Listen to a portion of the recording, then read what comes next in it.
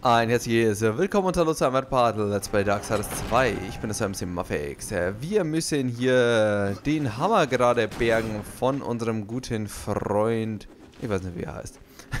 äh, zumindest äh, beim letzten Mal haben wir das, äh, die Schmiede wiederhergestellt und uns wurde ein Schlüssel der Schaffer gebaut, mit dem es uns nun möglich ist, ähm, die äh, Wächter zu schaffen. Wenn ich noch an Darksiders 1 erinnere, das waren immer die Typen, die uns im Weg gestanden sind zweimal und wo wir dann immer erstmal irgendwelche dummen Aufgaben erfüllen mussten, damit sie, damit sie, sie verschwinden. Sehr nervige Zeitgenossen, um ehrlich zu sein. Aber egal.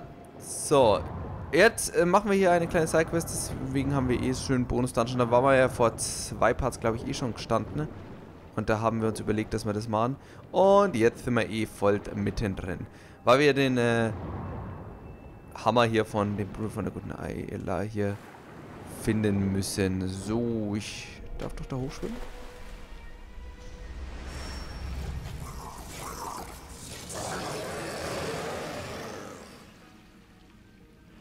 Sind das alle Level 50 oder so, die Gegner.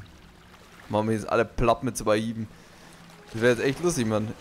Da steht ja nie, nie mal seine Level-Empfehlung. Aber wenn die jetzt echt so Level 20 oder so sind, dann muss ich mir doch hier ein bisschen Sorgen machen. Ja, Level 4 Manus. So.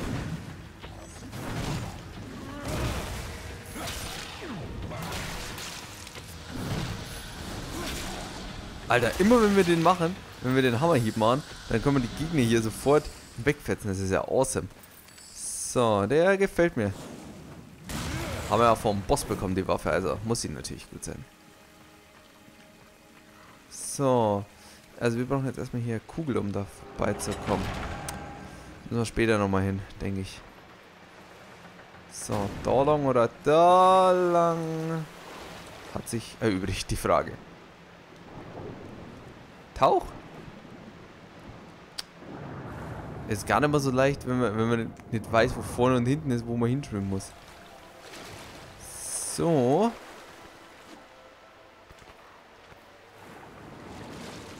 Ach, ich kann ja gar nicht weiter. Warte mal, gehen wir mal auf Tauchstation. Da ist auch nichts. Hm. Ja, das Problem ist, es ist natürlich sinnlos, wenn ich da... Ich meine, ich kann da jetzt schon wieder hoch. Aber das bringt mir im Endeffekt ja nichts. Jetzt bin ich da, wo ich angefangen habe. Super. Ähm, okay. Erste, erste Area. Ich kann auch mit Sicherheit sagen, dass ich das hier niemals gemacht habe. Also da bin ich mir zu 100% sicher. Das heißt, wir müssen hier mal wirklich denken. Das ist nicht gut. Das ist ganz und gar nicht gut. Aber da hinten sehe ich schon mal was Sinnvolles. Was ich schon fast übersehen hätte. Eine Map wäre das wäre so toll. Okay, das ist schon mal sehr gut.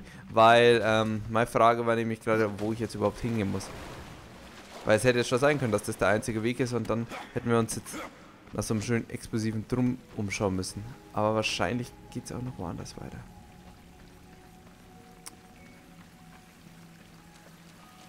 Aber ich sehe auch nichts. Das Problem ist, ich wüsste auch nicht mal, wenn... Vielleicht gibt es hier irgendeine Fähigkeit, wo man die irgendwann mal selber kaputt machen kann oder so. So, jetzt schauen wir erstmal kurz auf die Map. Weil ihr seht, es gibt im Endeffekt nur die beiden Gänge. Da sind wir gerade lang geschwommen. Das Problem ist, da gibt es keinen Verbindungsweg. Hm.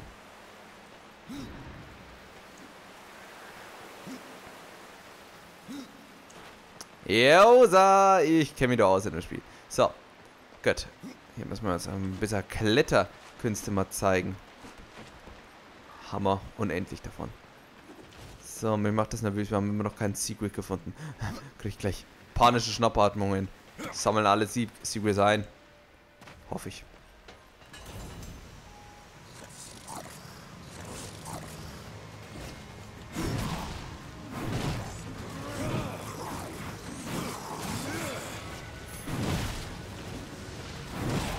Zack.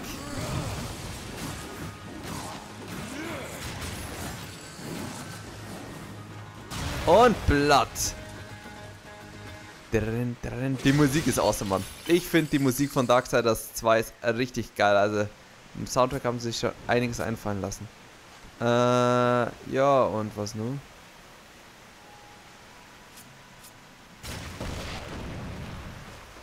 Ich glaube, ich komme hier nämlich nicht weiter.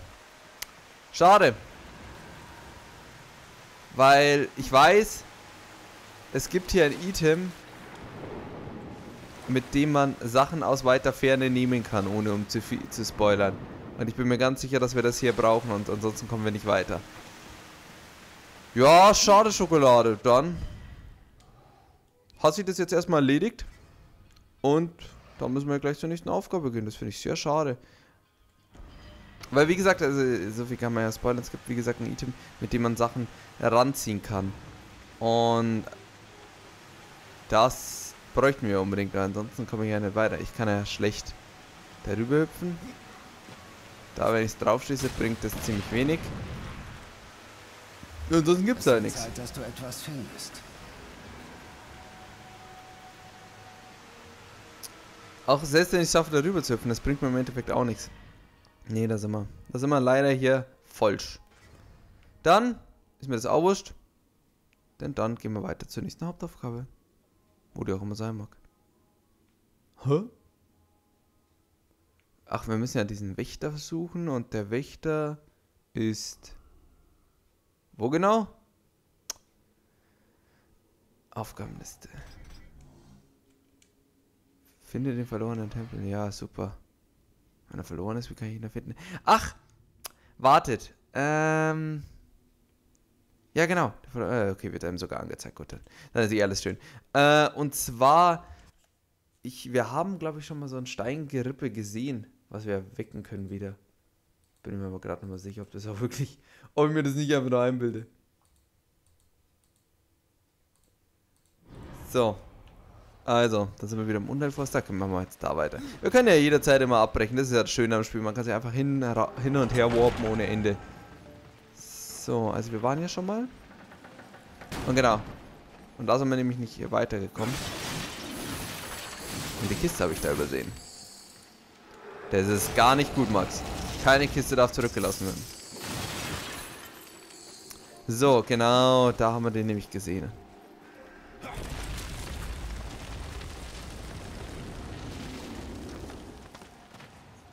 Und damit haben wir nun einen Wächter an unserer Seite. Und dieser Wächter ist ziemlich cool, nicht nur weil er fett ist und man kann ihn nämlich auch einsetzen und dann kann er mit seinem schönen Arm, wartet,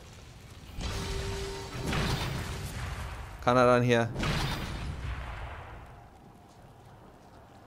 einen Weg aufbauen. Ja, Kette anbringen. Passt. So. Der bleibt jetzt so und chillt ein bisschen. Weiß ich gar nicht, was da ist. Schauen wir erstmal hier lang, weil... Wieso denn? Ah, okay, da ist zu. Da ist zu, dann hat sich das auch ganz schnell wieder erledigt, Mann. Eigentlich würde ich jetzt gerne noch mit dem Bub reden. Aber ich weiß ja nicht, wo der ist. So. Und damit können wir nun weiter. Ja, gut, das ist auch ein netter neuer Rätselaspekt, der dann noch dazu kommt. Finde ich eigentlich ganz cool immer. Level 6er Gegner. So, also eine stärkere Variante von den Gegnern, die wir bis dato hatten. Aber wir sind auch stärker, Mann.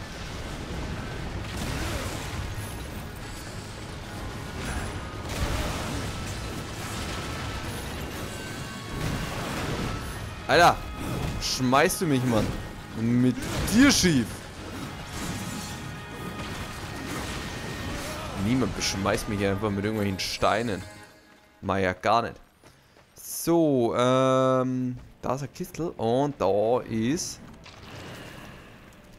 eins von diesen lustigen Explosionsdingern. Dann klaue ich mir doch einfach mal hier schnell die Kiste. Und in der befindet sich ich kann nicht.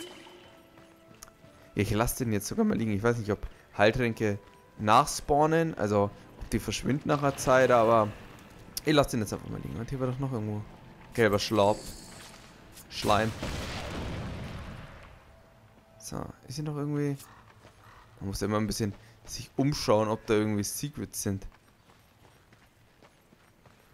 sieht doch irgendwie so aus, als könnten ja super schön Secrets sein, oder? Nicht? Da, schauen wir da. Immer, immer einfach mal mehr laufen. Lieber mal nichts gefunden, als dass wir irgendwo vorbeigelaufen sind. Da hinten könnte was sein. Aber ich glaube, so weit komme ich nicht hinter. So, dann klettern wir einfach mal weiter. In der Hoffnung, dass wir richtig sind und nichts vergessen haben. Wartet mal kurz, bis gleich. So, verzeiht die kurze Unterbrechung, wir sind schon wieder da. Und dann schauen wir mal, was nun weitergeht. Oh, Leute. Ich dachte, ich muss jetzt da runterspringen. Wäre schöner Arschbombe geworden. Nein!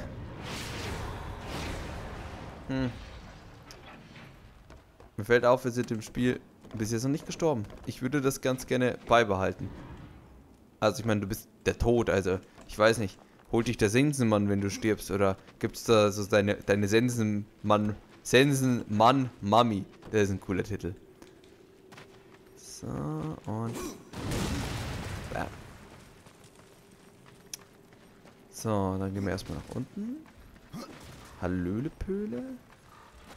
Gegner.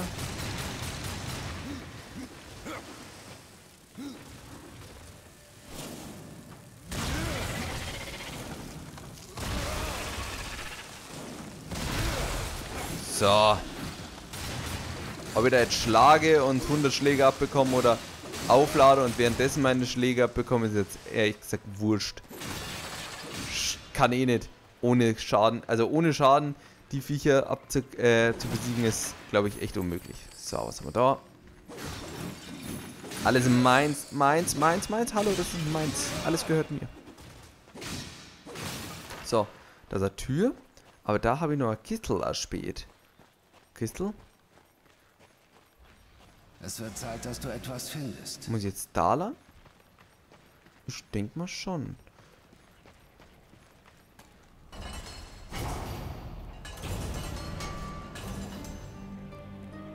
Oh, das ist aber lieb. Lässt mich einfach durch. Ähm, aber dann bin ich gleich noch erpichter darauf, hier erstmal zu schauen. Weil hier, ihr seht, da ist eine Kiste. Okay, da komme ich jetzt erstmal nicht rein. Und da gibt es einen Weg. Muss ich mal kurz auf die Map schauen. Ähm. Ich, sind wir eigentlich schon im Dungeon drin? Kann eigentlich sein, oder?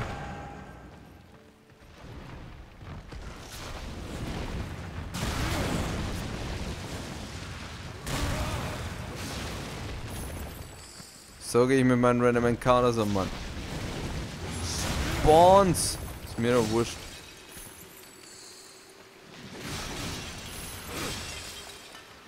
War's das? Oder wollen da noch ein paar? Ähm, also bin ich gerade unentschlossen. Ich weiß jetzt nicht, ob es hier weitergeht oder da drüben weitergeht. Ja, hier Gegner spawnen würde ich jetzt eigentlich fast eher annehmen, dass das hier weitergeht.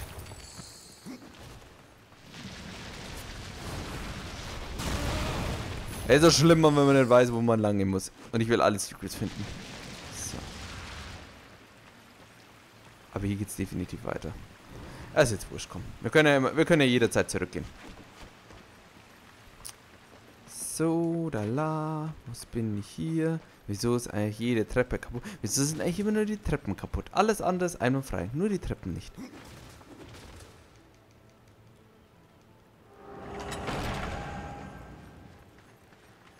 Okay, hier ist jetzt definitiv der richtige Pfad.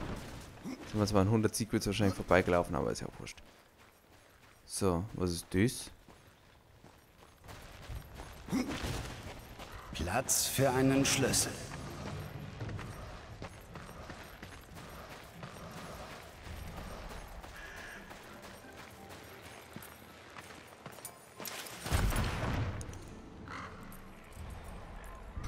Was kannst du mir über diesen Ort sagen? Ich war hier schon einmal, als ich versuchte, eine Kreation umzustoßen. Ein toller Spaß. Das stimmt. Ich konnte ihn nur einen Zoll bewegen, bevor meine Nerven nachgaben. Die ganze Zeit spürte ich, wie Muria mich beobachtete. Reiter, kann ich dich um einen weiteren Gefallen bitten?